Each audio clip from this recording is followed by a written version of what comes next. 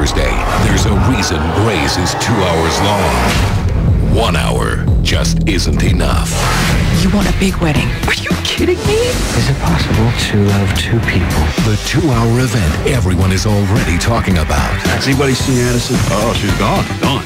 The show that no one will stop talking about. Why are you really here?